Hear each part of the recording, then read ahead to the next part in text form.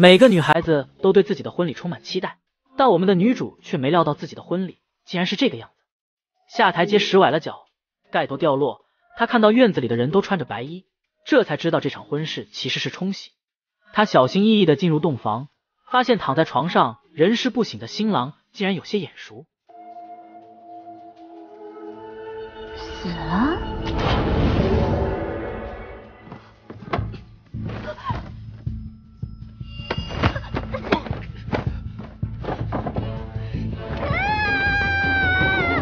有这么狗血的经历呢？事情要回到那天前说起。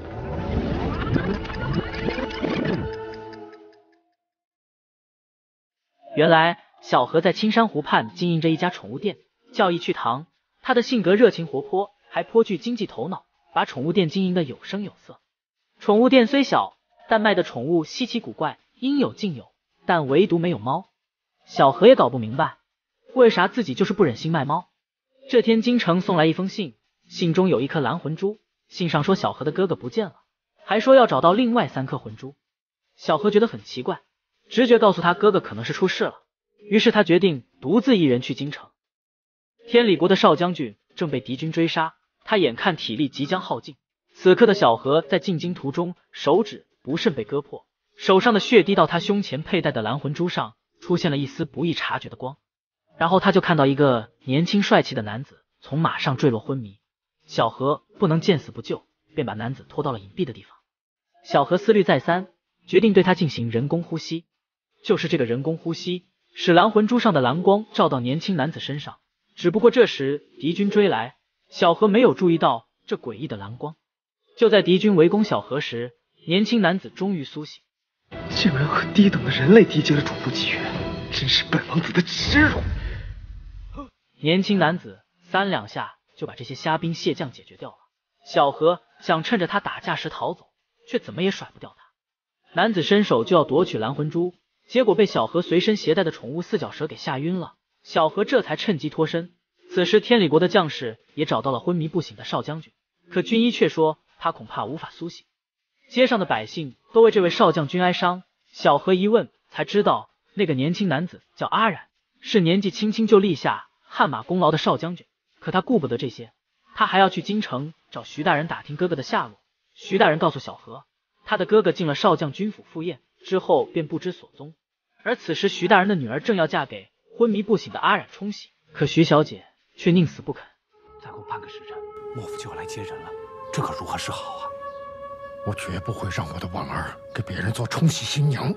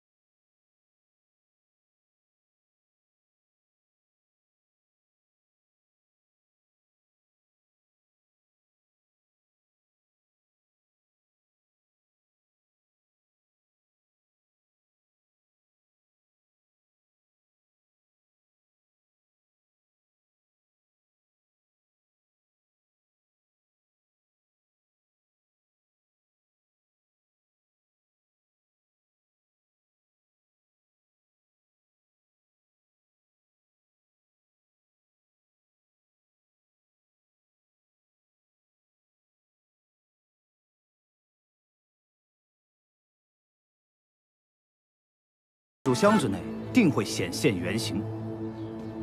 很快，我就让你现出原形。落日城公主王子到，带他们进来吧。是。谁是莫修染？皇帝邀请落日城的公主与王子进京商谈和谈之事，让莫府负责接待。可这公主久闻阿染大名，一直想和他切磋武功，所以刚一进门就和阿然打了一架。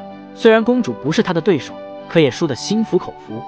席间，玉夫人希望自己的儿子阿宇能得到公主的青睐，于是谄媚的向公主送上红魂珠。不料公主左看右看，都看不到珠中的锦鲤，所以误以为这是赝品。阿染拿过珠子仔细端详，确认不是赝品，只不过其中的锦鲤和他一样逃走了。公主这才收下了珠子。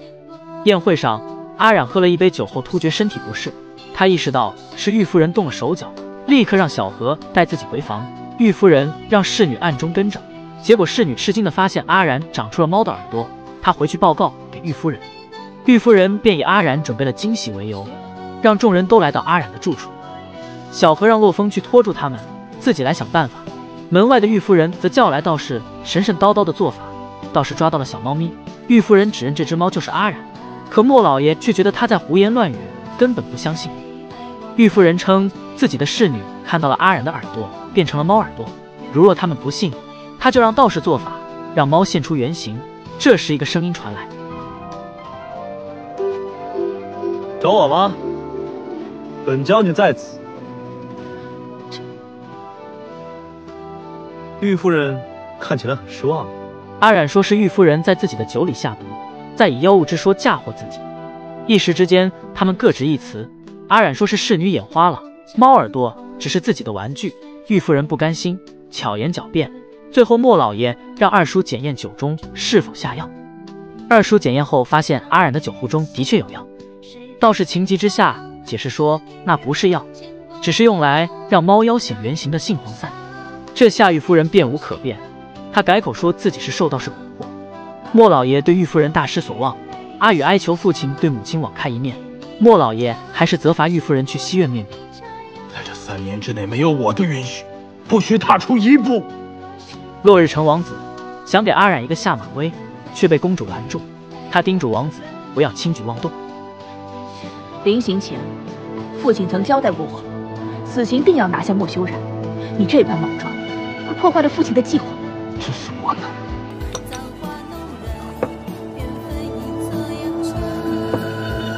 赵将军曾经说过，若优秀是一种病。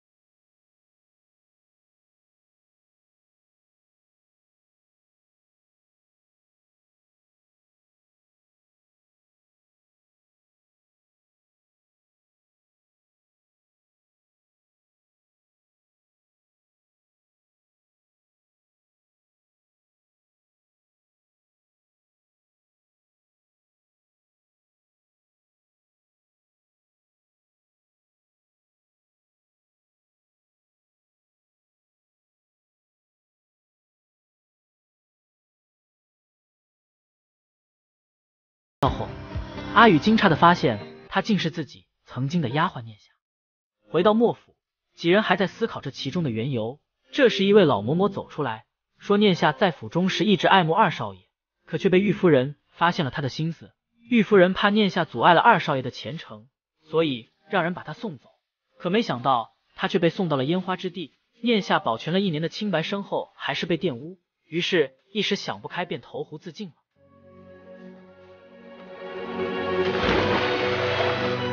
聂夏一时想不开，就投湖自尽。聂夏对二少爷的这份心思，导致现在酿成大祸。阿宇去质问玉夫人，面对儿子的质问，玉夫人气得打了他一巴掌，说他不懂自己的苦心。阿宇则表示自己从来不想争什么家主之位，母子二人不欢而散。这边的阿染则吃醋的抱起小何，霸道的把他带回猫舍。他不允许小何和别的男人过七夕节，更不允许他对别的男人笑。凭什么？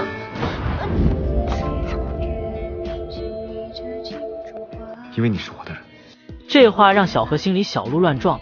阿染又给他戴上了猫铃铛手链，说以后只要小何遇见危险，就可以摇动铃铛，方圆十里他都可以听到。随后，阿染派人在城中张贴告示，说红魂珠要拍卖。拍卖当天，锦鲤果然来偷红魂珠。虽然他没出现，但还是被众人发现了踪迹。大家围住锦鲤，他放出大招，阿染躲闪之时也不忘保护小何。锦鲤逃脱，阿染让洛风护小何周全，他自己追着锦鲤而去。在丛林深处响起了奇幻的歌声，阿染被这歌声迷惑，陷入了幻觉。小何不知阿染安危，万分焦急，他无奈打晕洛风后去寻找阿染。锦鲤发现小何后，将他打得吐血晕倒。这番响动也让阿染清醒，他汲取蓝魂珠的能量打败了锦鲤，然后急急忙忙带小何回去疗伤。这时锦鲤的意识已经离开，只剩下即将魂飞魄散的念夏。阿宇见到念夏这个样子，心里也十分难过。对不起，是我害了你。少爷不必自责，奴婢没想过此生还能再见到少爷。奴婢这一生最开心的时光，就是伺候少爷。奴婢知道自己对少爷的那份心思是痴心妄想，但现在能死在少爷身边，奴婢没有遗憾。少爷，你要好好找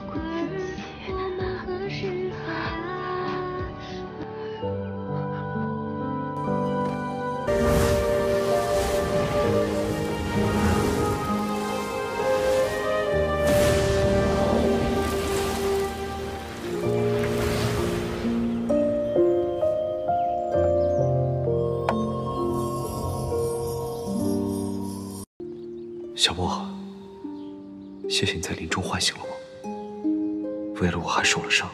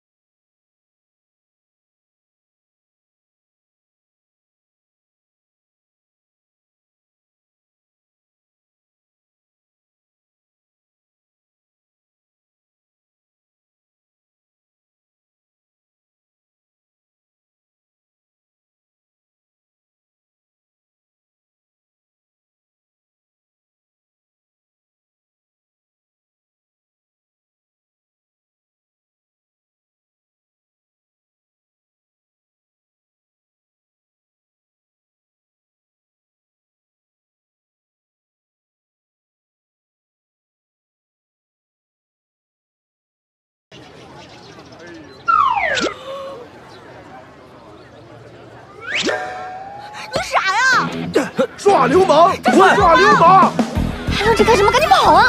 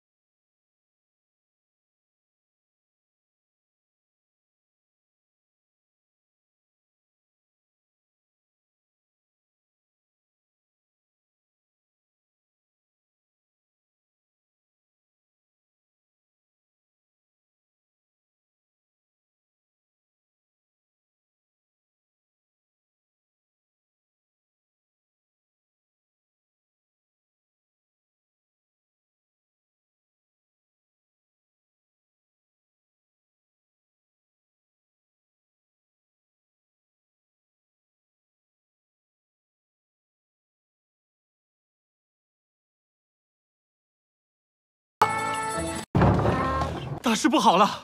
我方才看到公主和二少爷带着少将军出了驿站，说是要把少将军给阉了。什么？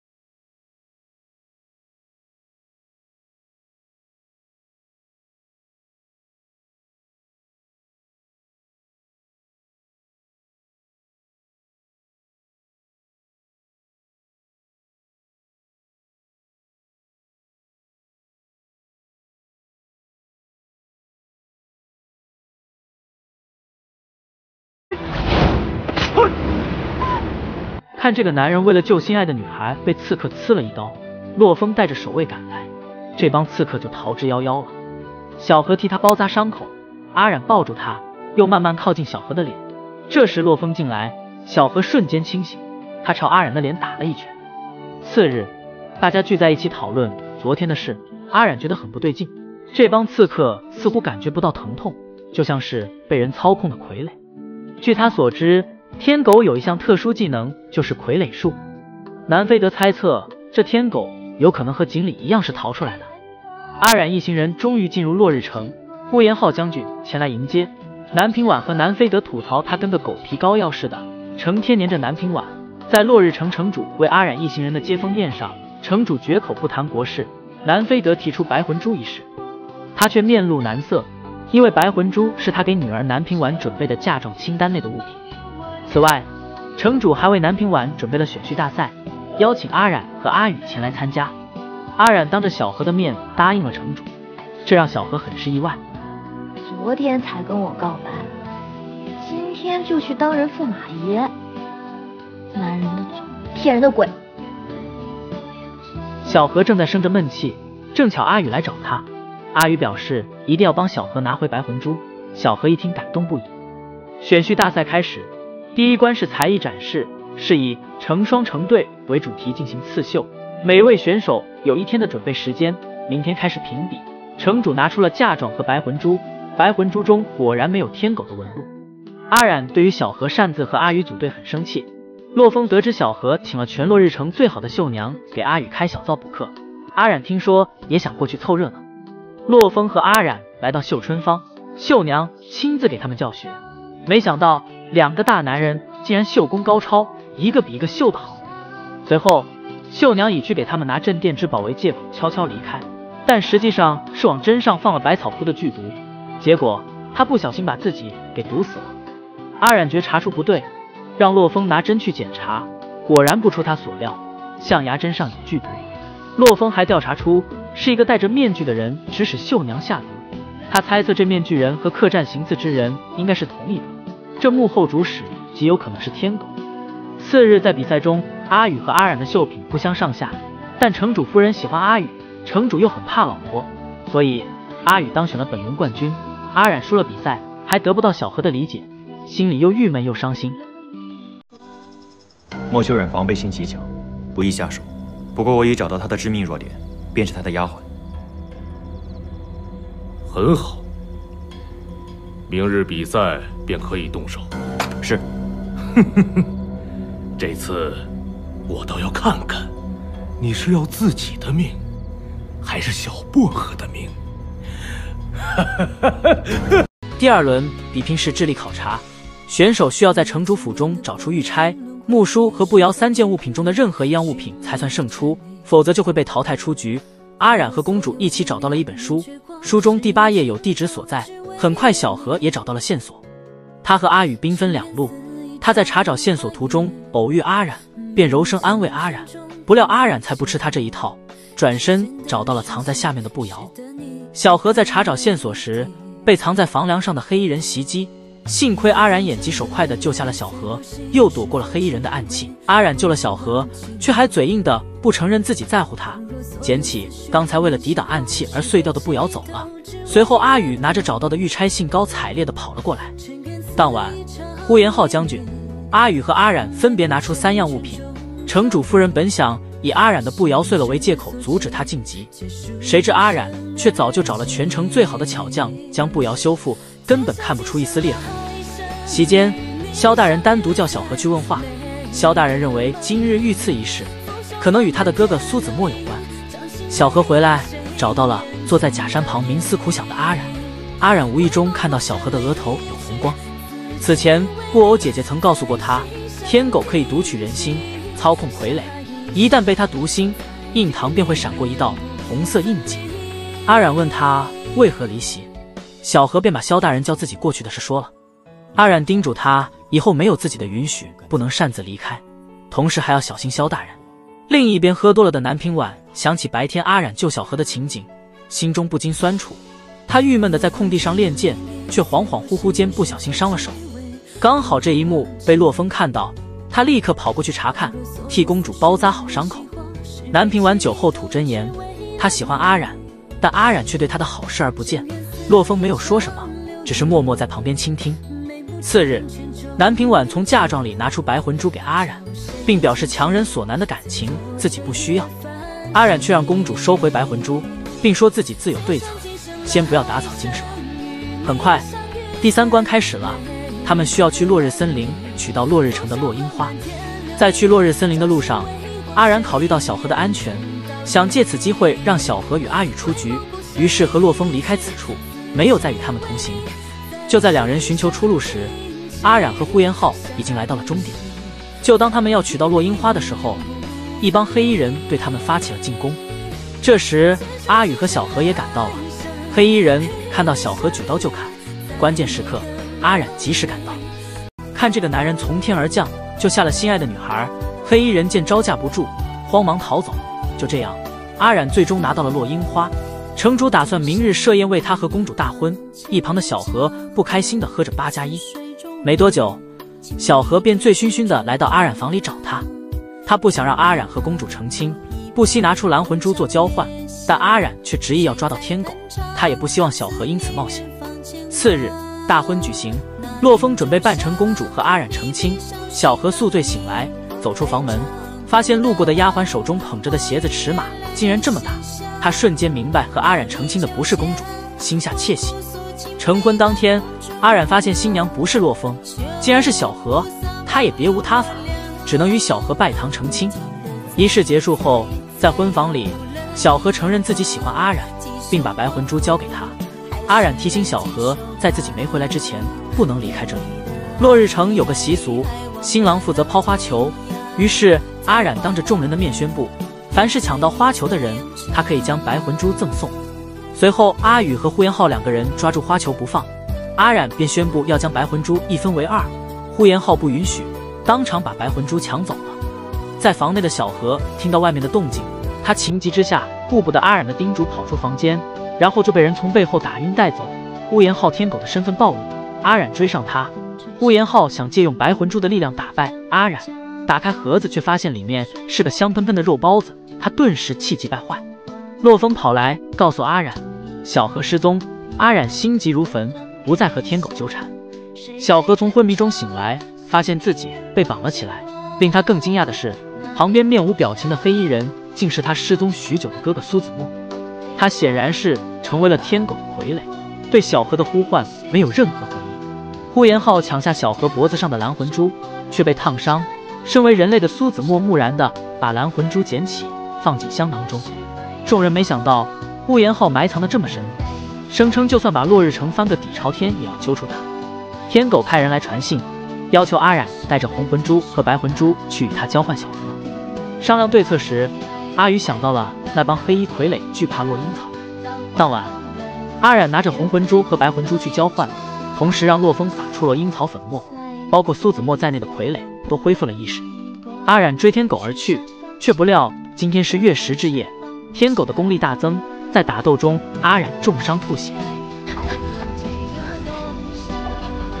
小凤，你带大哥先走。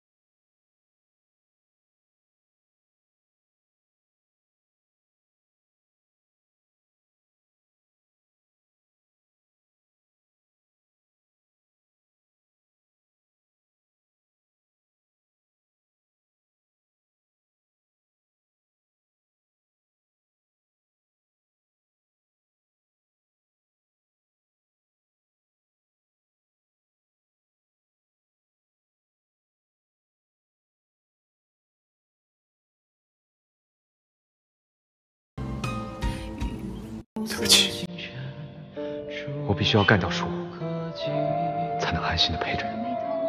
两个相爱的人在岔路口就此分别，载着小何的马车驶向这条路，阿染则骑马回天里。小何和哥哥回到青山镇。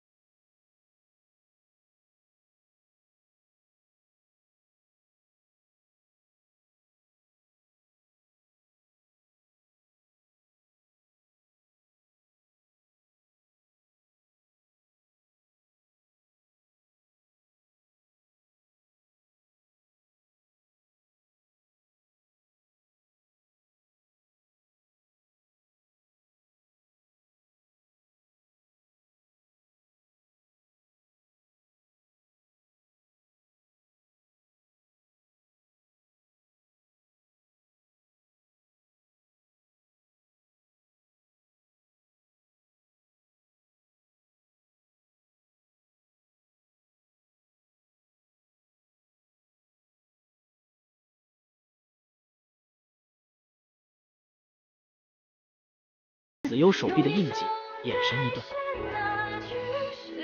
又对上。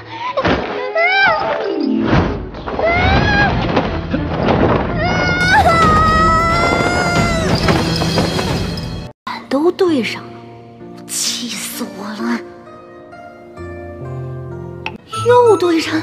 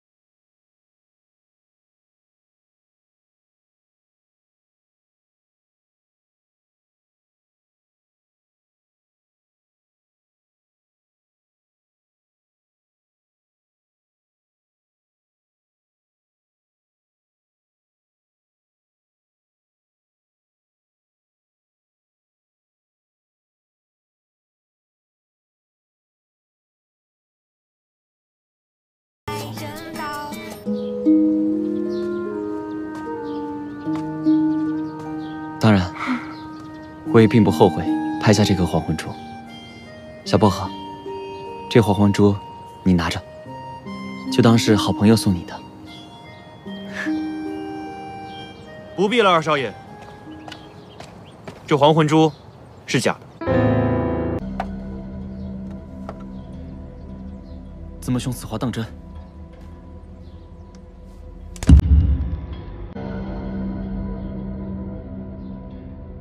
看这个高富帅喝了对面女人递过来的八加一之后，就头晕眼花，晕倒在地了。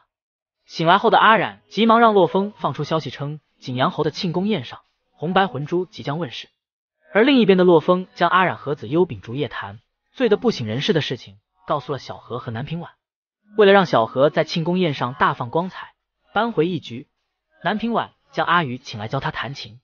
凭借儿时的记忆，小何弹出了一支旋律优美的曲。庆功宴上，先是洛风为众人舞剑，随后是子悠闪亮登场。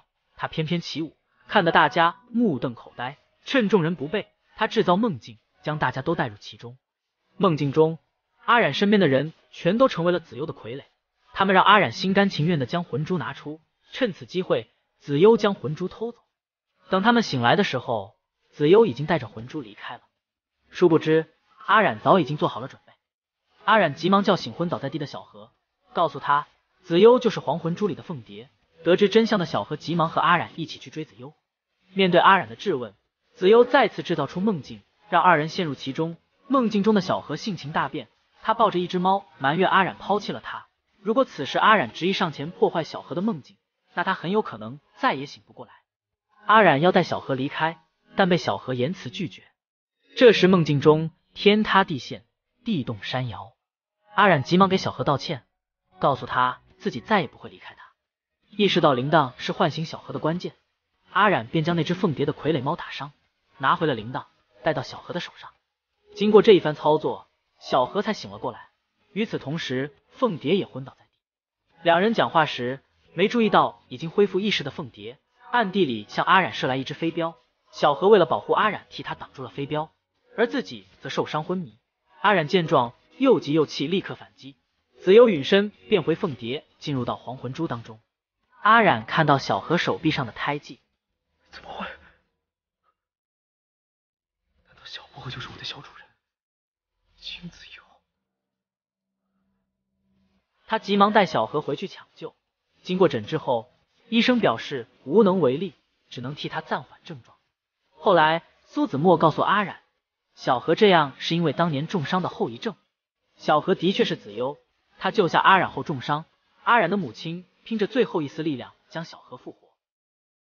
我的能力只能支撑小波荷活到十八岁，我要集齐四颗魂珠，用其魄力，才能救小波荷的命。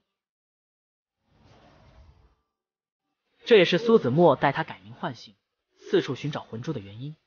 而那次重伤之后，他就再也记不得。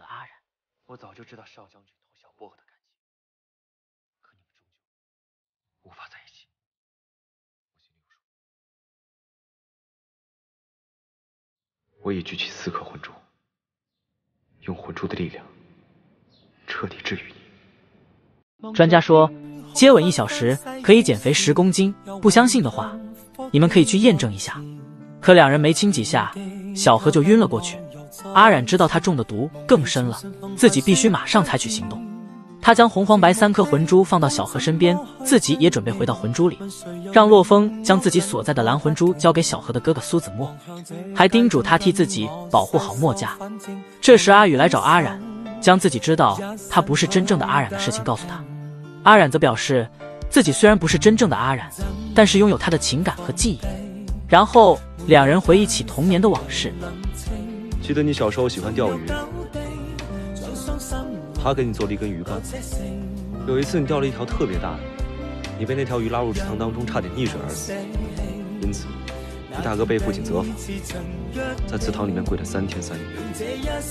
我记得那天是腊八节，我还为大哥送去了被子和腊八粥，只是没有想到那一夜东院起火。大哥的母亲被困于火海，从那之后，大哥和我二人便越发疏远。少将军此行出战青州，定能一举拿下洛日城，率大军凯旋。大哥，这是我在广佛寺为你求的平安符，希望此战大哥能够平安归来。我一直想向大哥道歉，他却不给我这个机会。他已经原谅你了。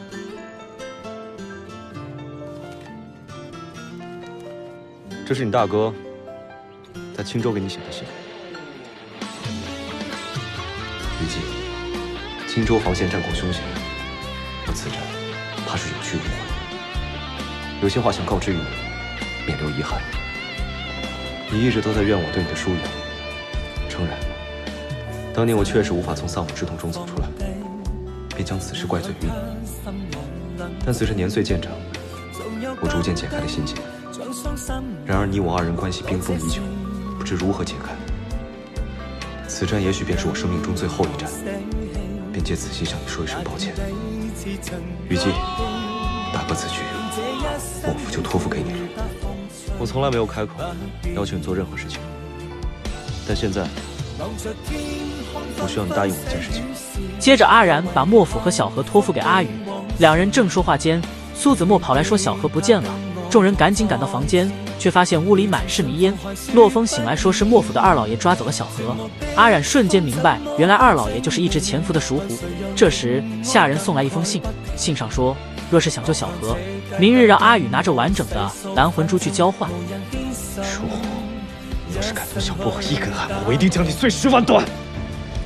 看这个女孩被人勒住了脖子，就在危急关头，阿宇赶到，他将蓝魂珠扔给熟狐。就在熟狐仔细端详蓝魂珠时，阿冉握着剑从天而降。原来他让苏子墨以假乱真，做了个假的蓝魂珠，为阿宇救小何争取了时间。他则与熟狐缠斗起来，因为熟狐吸收了其他三颗魂珠的力量，功力大增。阿冉和众人加在一起，也不是他的对手，很快就被打败。布偶姐姐把小何叫过来，告诉他：王子殿下结束契约后，这里大不如前。快和王子殿下重新缔结契约！不要！不要！小何没有任何犹豫，他义无反顾的割伤，手掌握住蓝魂珠。就这样，重新缔结契约的阿冉功力大增，三下五除二就让属虎领了盒饭。随后抱起奄奄一息的小何，小何撑着最后一口气亲吻了阿冉，用真爱之吻解除了契约，只因为他不想让阿冉为自己而死。而阿冉当然不可能眼睁睁地看着小何死去，他最终自己进入了魂珠，救回了小何的命，而他也因为魂力受到重创，无法恢复成人类的模样。小何醒来后，得知阿冉变成了猫，非常难过，他流着泪抱起猫咪，脑海中回想起和他们在一起的画面。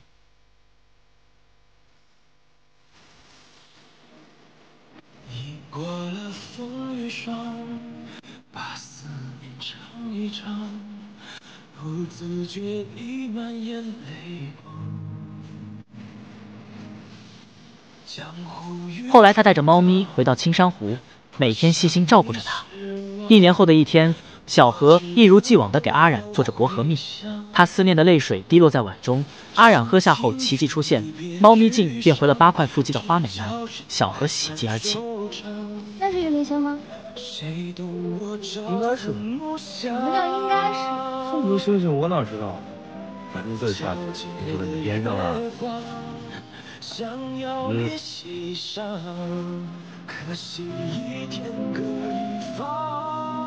又我不会轻易相信。自己想好，反正这是我跟你的最后一次机会。你这个眼睛呢？